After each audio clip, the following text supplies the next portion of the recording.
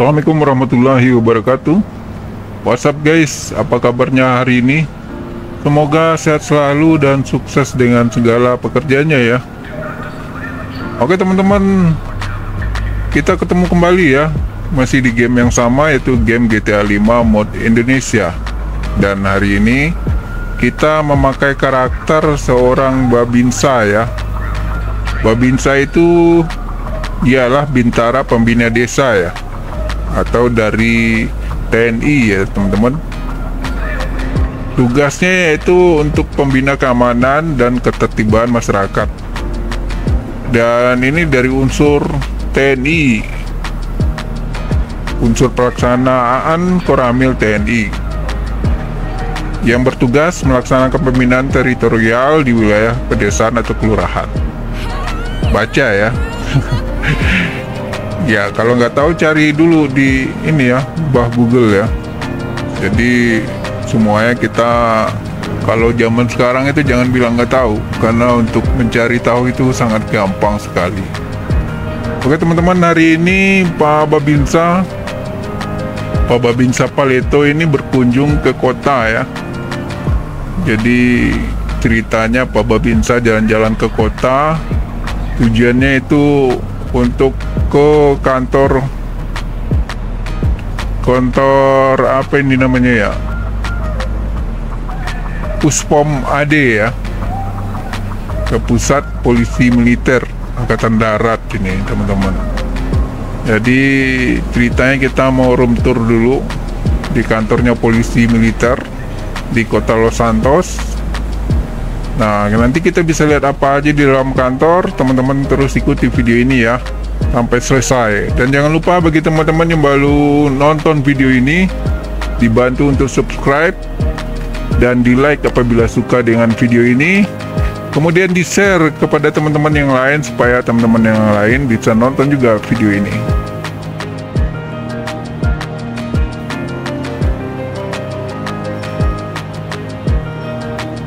Oke teman-teman, kita sekarang berada di halaman depan ya dari kantor Puspom AD. Dan di halaman depan terlihat terparkir beberapa mobil dari anggota TNI. Wah, ini mobil keren nih. Mitsubishi ya. Ada mobil off-road ini, mobilnya mobil off-road. Mungkin ini dari mobil Babinsa juga ini. Babinsa Sadisor mungkin ya. Nah, ini mobil Pak Babin Sapal itu apa nih kira-kira ya? Belum dapat ini teman-teman. Oke teman-teman kita masuk ke gedung Puspom AD Kota Los Santos.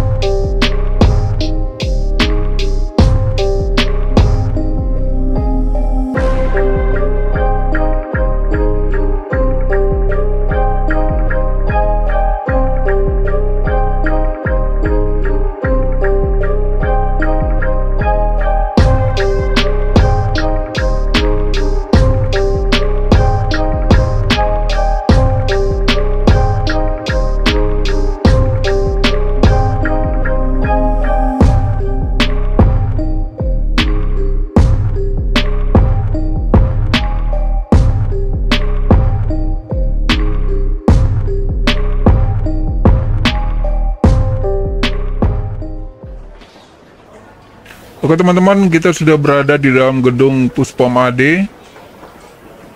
Nah, ini di depan kita bisa lihat ada logo Gajah Mada ya. Satya Wira Wicaksana ya.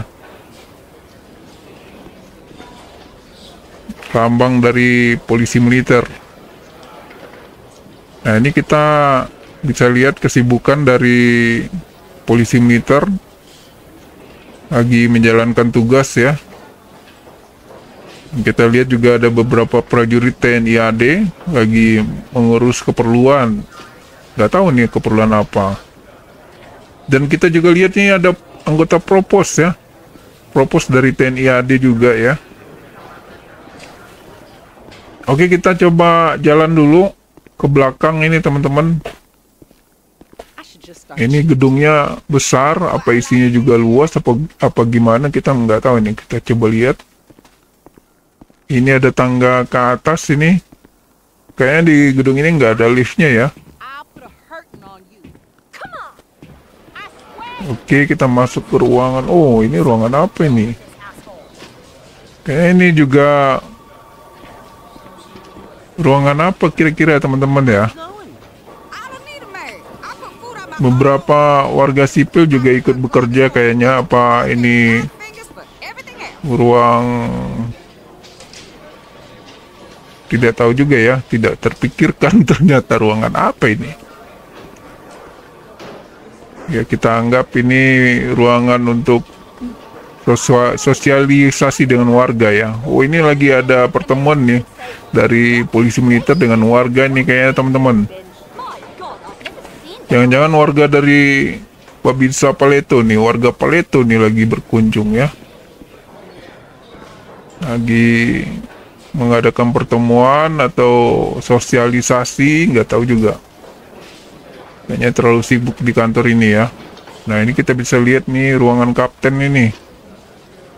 Oh kaptennya nggak ada. Kita boleh masuk. Polisi militer.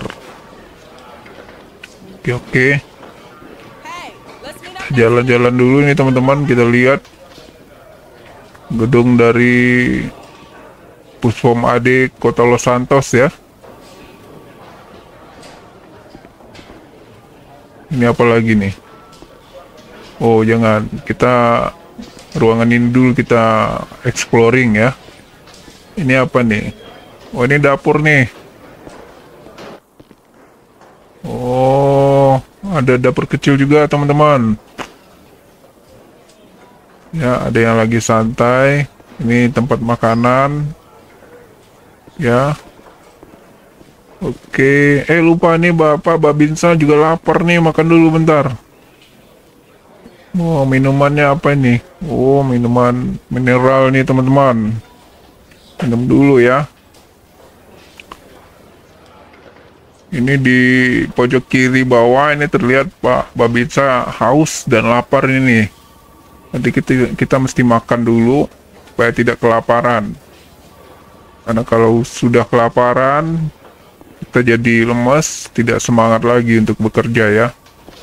Makan juga tidak boleh terlalu banyak ya. Kalau terlalu banyak malah ngantuk jatuhnya ya. Jadi makanlah secukupnya aja. Berhenti sebelum kenyang ya. Makanlah sebelum lapar. Benar nggak sih? Kalau salah tolong dikoreksi ya. Nah, ini ruangan-ruangan di kantor Puspomade yang ada di kota Los Santos. Nah, ini apa ini? Kita coba cek teman-teman.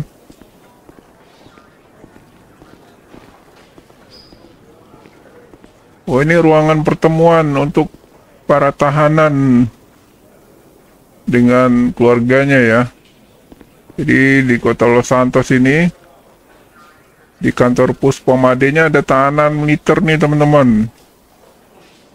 Jadi kalau teman-teman mungkin ada yang bertanya apa beda sih pro polisi militer dengan propos TNI AD ya.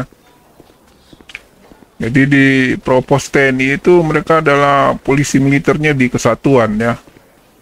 Sedangkan polisi militer itu PM mereka polisinya di Matra ya. Maksudnya TNI ini ada kan Trimatra ya angkatan darat, angkatan laut, dan angkatan udara dan masing-masing di angkatan itu ada polisinya. Nah, itu dia polisi militer ya.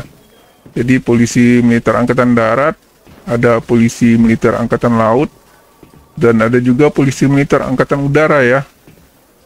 Nah, bedanya itu jadi cakupannya lebih luas polisi militer dan ngepropos mereka polisinya di dalam kesatuan masing-masing. Seperti itu ya teman-teman ya. Dan kalau salah mohon dikoreksi juga ya teman-teman di kolom komentar. Oke kita coba lihat keluar ini apa ini ternyata. Oh ini helipadnya teman-teman. Ini untuk uh, untuk anggota atau perwira yang butuh keperluan cepat datang pakai heli ya biasanya Pak Jenderal dari negara mana gitu berkunjung sini Oh jangan meloncat. Aduh. Wah, Bapak Binsa ini. Meloncat dia teman-teman. Oke, kita udah di luar. Tidak terasa sudah sore aja nih teman-teman ya. Wah. Wah, ini kalau sore kita harus cepat ke bawah nih teman-teman. Jangan-jangan ditutup ini kantornya. Oke ini ruangan apa ini? Oh ini perlengkapan.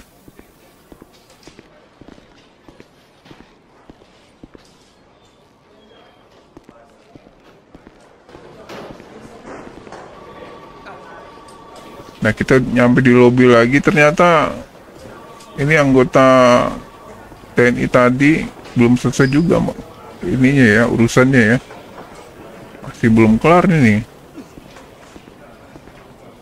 ini juga penjaganya masih siap di depan ya.